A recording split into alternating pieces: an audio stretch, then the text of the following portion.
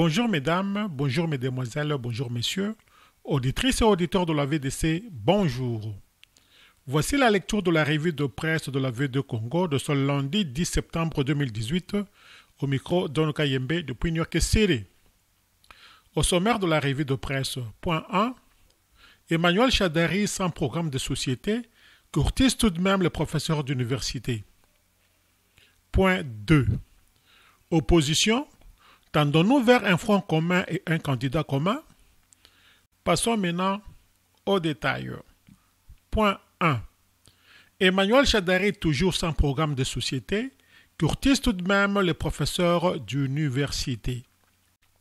Les professeurs d'université ont lancé un appel de soutien samedi dernier au candidat du Front commun pour le Congo FCC en sigle Emmanuel Ramazani.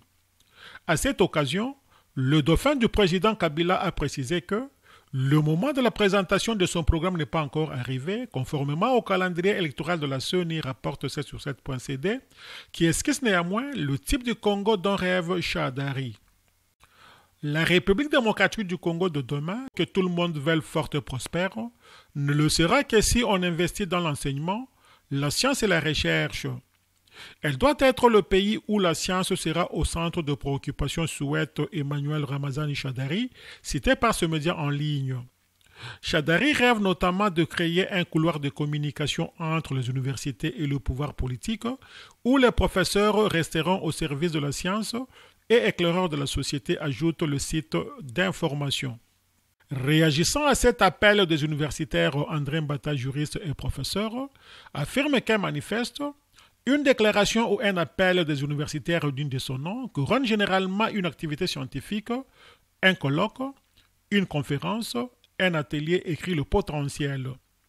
Pour ces juristes, la rationalité scientifique a pour objectif de magnifier les valeurs et non d'aduler ou d'exprimer un désir ou une passion éternelle pour un homme, dans une allusion à la rencontre des professeurs, ajoute le quotidien. Point 2. Opposition.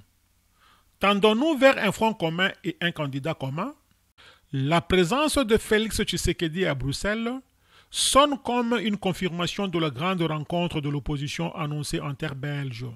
À cette réunion devrait participer le président de l'UDPS Félix Tshisekedi, le leader d'ensemble pour le changement Moïse Katumbi, le patron du MLC Jean-Pierre Bemba et le porte-étendard de l'UREP Adolphe Mouzito fait savoir au Forum des As.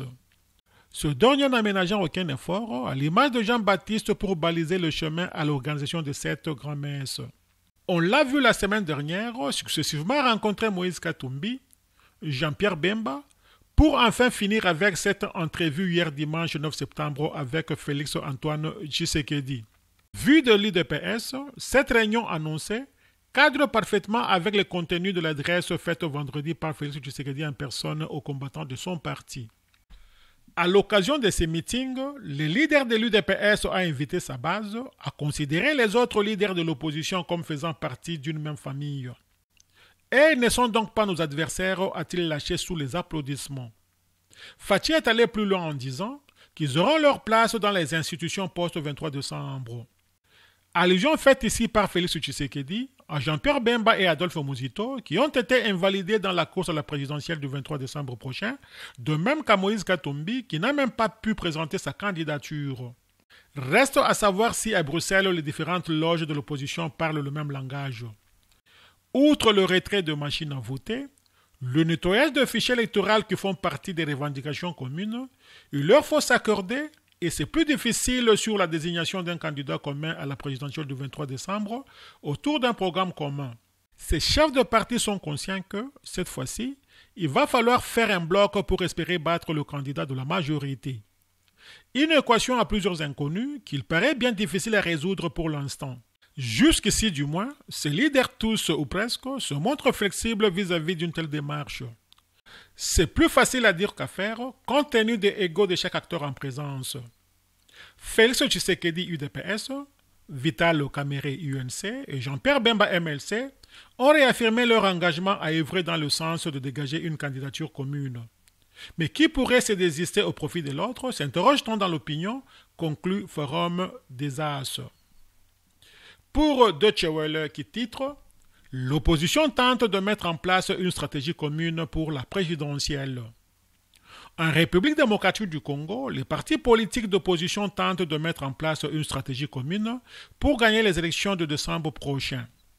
Les opposants congolais doivent s'unir pour gagner les élections. C'est le vœu des habitants de Goma qui se sont exprimés à ce sujet.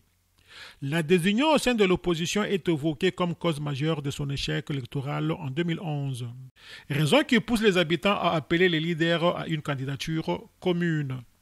La question de la candidature unique de l'opposition, ce n'est pas ça le problème. Le problème, c'est la crédibilité des élections, parce que nous ne pouvons pas aller aux élections tant qu'il y a la machine à voter, tant que le fichier électoral est déjà boutiqué d'avance, et là, ça ne va pas nous permettre d'aller aux élections crédibles et apaisées, estime Augustin Kabouya, communicateur du parti Union pour la démocratie et le progrès social, UDPS en sigle, qui voit les choses autrement. Adrien Mouchoumon, un cadre de l'Union pour la nation congolaise UNC en sigle en province du Nord Kivu, reste optimiste pour l'union de l'opposition. Ce serait une déception si les hommes politiques congolais ne soient pas à mesure de transcender leur ego. Au même moment, la candidature commune devrait être la résultante d'un critérium. L'Est de la République démocratique du Congo a fait 51% d'enrôlés visiblement. Le candidat commun de l'opposition, s'il est de l'Est, il part favori pour battre à plat couture le candidat du pouvoir avant d'ajouter que la démarche exige un critérium, rapporte Deutsche Welle. Fidèle auditrice et auditeur de la VDC, merci pour votre aimable attention. C'était votre humble serviteur Don Kayembe depuis New City pour le compte de la radio-télévision en ligne, La Voix de la démocratie congolaise au panorama d'Afrique. À demain.